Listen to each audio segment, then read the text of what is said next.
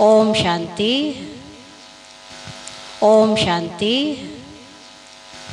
ओम शांति।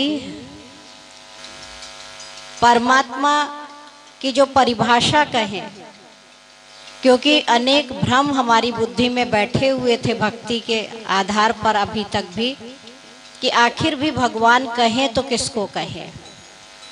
तो परमात्मा उसी को कहा जाता है जो सर्व सर्वमान्य हो, सर्वज्ञ हो, सर्वशक्तिवान हो, और जिससे हम सर्व रिश्ते जोड़ सके। तो आप देखेंगे ज्योति बिंदु स्वरूप परमपिता परमात्मा शिव, जिसकी हम महिमा गाते हैं, फल, फूल, सब कुछ चढ़ाते आए। तो एक परमात्मा पिता ही ऐसा है जिसके पूरे भारतवर्ष में द्वादश ज्योतिर्लिंगम बने हुए हैं। हर मंदिर में शिवलिंग ज़रूर होगा। आप देखेंगे घर में कोई बड़े बुज़ुर्ग आते हैं, संगठन में हम भोजन भी करते तो बड़ों को बीच में बिठाते हैं। कोई प्रोग्राम फ़ंक्शन करेंगे तो अपने चीफ गेस्ट को बीच में बिठाएँगे।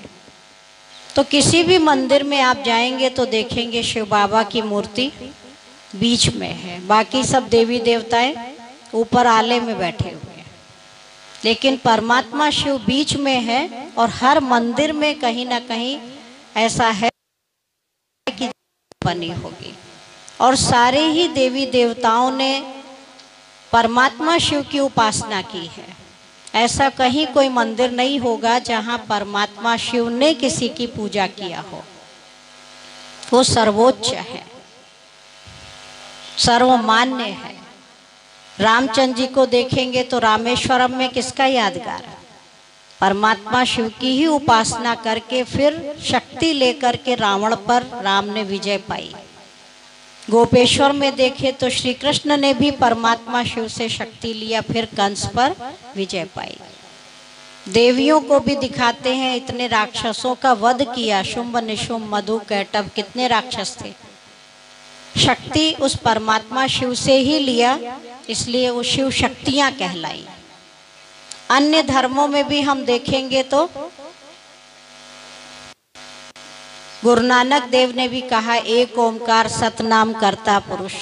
तो इशारा उस परमात्मा शिव के लिए किया। ईसा मसीह को भी मूसा पर्वत पर एक ज्योति का साक्षात्कार हुआ। तो कहा, परमात्मा, ज्योति स्वरूप है गॉड इज़ लाइट तो कहने का भाव है कि सभी धर्मों में उस पिता परमात्मा को माना गया, जिसकी स्मृति में हम सभी आज शिवरात्रि मना रहे हैं। और जिसका वर्णन भी शास्त्रों में लिखा हुआ है कि हे अर्जुन, जब जब अति अधर्म बढ़ता है, तब तब मैं इस धरा पर आता हूँ। परंतु साधारण वृद्ध तन का आधार लेता हूँ, गुप्त रूप में आता हूँ।